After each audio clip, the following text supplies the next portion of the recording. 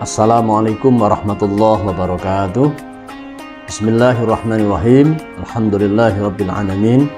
Allahumma salli wa sallim wa barik ala sayyidina Muhammadin wa ala alihi wa sahbihi ajma'in. La hawla wa la quwwata illa billahil aliyyil azim amma ba'd. Taqabbalallahu minna wa minkum wa taqabbal ya karim. Ja'alana Allah wa iyyakum minal aidin faizin.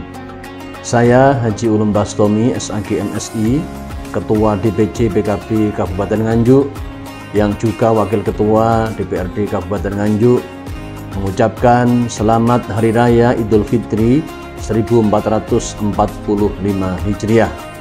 Saya mewakili seluruh jajaran pengurus DPC mengucapkan mohon maaf lahir dan batin dan semoga momentum Idul Fitri tahun ini menjadikan kita insan yang benar-benar bertakwa, suci hatinya, saling memaafkan, dan mudah-mudahan Kabupaten Nganjuk menjadi daerah yang baldatun thayyibatun wa rabbun ghafur.